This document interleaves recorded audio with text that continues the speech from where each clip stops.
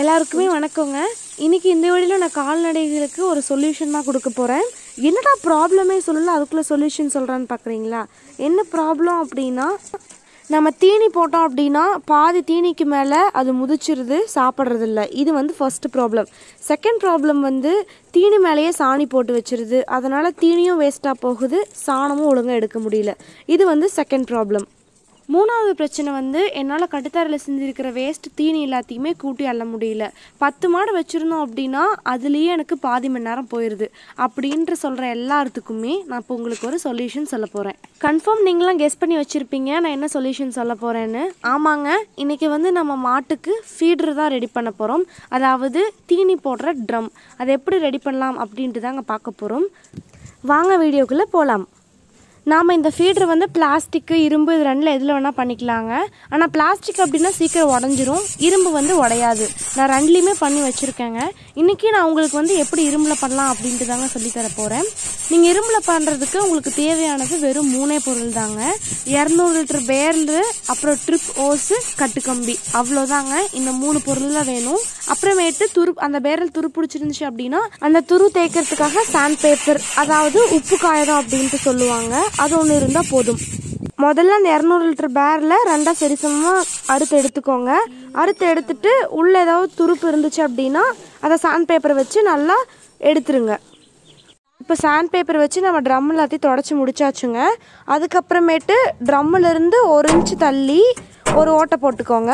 திருப்பி அந்த ஓட்டையிலேருந்து ஒரு இன்ச்சு இந்த பக்கம் தள்ளி இன்னொரு ஓட்டை போட்டுக்கோங்க. ஒரு ஆணி ஒரு சுற்றி வச்சு போட்டிங்க அப்படின்னா உங்களுக்கு ரொம்ப ஈஸியாக இருக்கும். இதோ இந்த மாதிரி.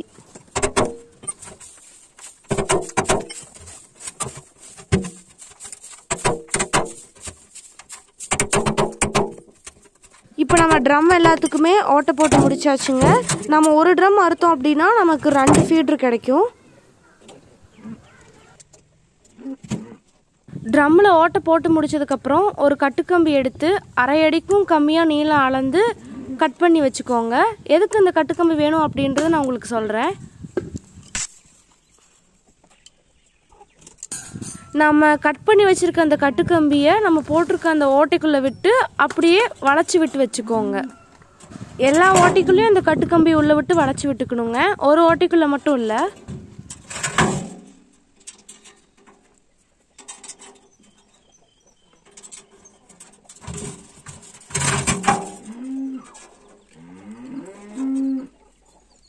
இப்போ நம்ம கட் பண்ணி வச்சுருக்க கட்டுக்கம்பி எல்லாமே ஓட்டைக்குள்ளே போட்டாச்சு.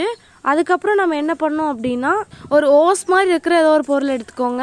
எங்களுக்கு வந்து ட்ரிப்பு டியூப் இருக்குது நான் அதை தான் எடுத்துக்க போகிறேன் இதை இப்போ நம்ம எடுத்துகிட்டு போய் என்ன பண்ண போகிறோம் அப்படின்னா அந்த ட்ரிப் டியூப்பை ரெண்டாக கிழிக்க போகிறோம் ஈவனாக இல்லைனாலும் பரவாயில்ல.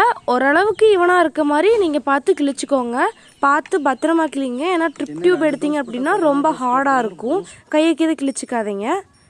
இந்த மாதிரி ரெண்டு பக்கம் ரெண்டாக பொழந்து விட்டுருங்க.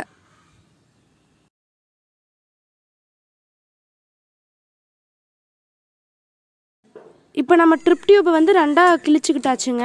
அதுக்கப்புறமேட்டு அந்த ட்ரம்மோட வளைவில் இந்த ட்ரிப் டியூப்பை உள்ளே வச்சு அப்படியே நல்லா அமுத்தி விட்டுக்கோங்க. நல்லா சுற்றி அமுத்தி விட்டதுக்கப்புறம் நம்ம ஆல்ரெடி உள்ளே போட்டு வச்சுருக்க அந்த கட்டுக்கம்பியை இழுத்து அந்த டியூபோடு நல்லா கட்டி விட்டுக்கோங்க. கட்டி விட்டுட்டு அந்த நீட்டிகிட்டு இருக்கிற அந்த கட்டுக்கம்பி முனையை நல்லா உள்ளே தட்டி விட்டுருங்க.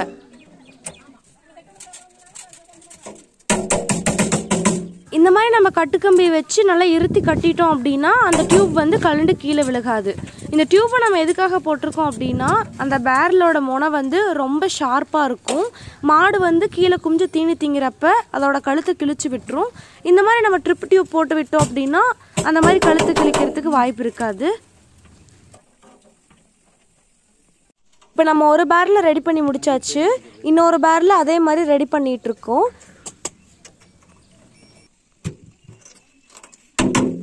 ரெண்டு பேரலும் ரெடி பண்ணி முடிச்சதுக்கப்புறம் திருப்பி துருப்பு ஏறாமல் இருக்கிறதுக்காக அந்த ட்ரம்முக்குள்ளே நம்ம வந்து பெயிண்ட் அடிச்சுக்க போகிறோம்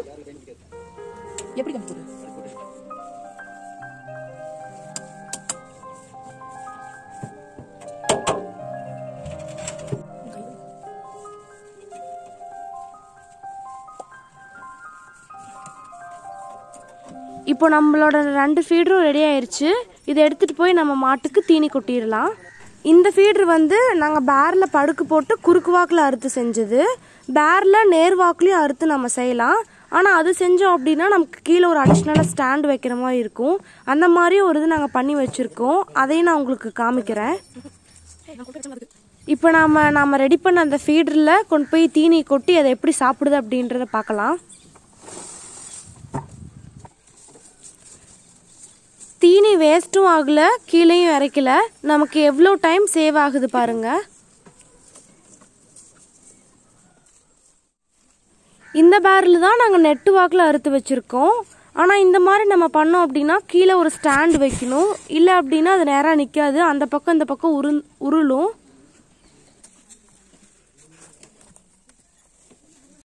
இதுக்கும் இப்போ நம்ம தீனி கொட்டிடலாம்.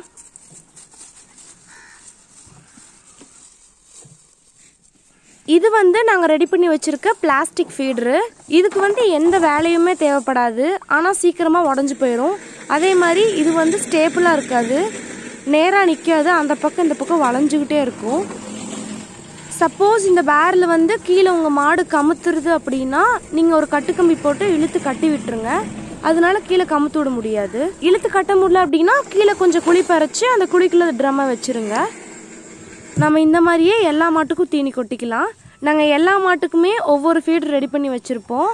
ரெண்டு பிளாஸ்டிக்கில் இருக்கும். மிச்ச நாளுமே இரும்பு தான் இந்த மாதிரி நீங்களும் உங்கள் வீட்டில் கண்டிப்பாக ட்ரை பண்ணி பாருங்கள் இதே நம்ம கடையில் போய் ஃபீடர் வாங்கினோம் அப்படின்னா குறைஞ்சபட்சம் ஒரு ஃபீடர் ஆறுநூறுவா சொல்லுவாங்க. இப்போ நாம் ஒரு பைசா கூட செலவில்லாமல் இதை நம்ம செஞ்சு முடிச்சாச்சு. இந்த வீடியோ கண்டிப்பாக உங்களுக்கு பிடிச்சிருக்கும். இந்த வீடியோ உங்களுக்கு பிடிச்சிருந்துச்சு அப்படின்னா லைக் பண்ணுங்கள் ஷேர் பண்ணுங்கள் கமெண்ட் பண்ணுங்கள் மறக்காமல் சப்ஸ்கிரைப் பண்ணிவிட்டு பக்கத்தில் இருக்க பெல் பட்டனையும் ப்ரெஸ் பண்ணி விட்டுருங்க.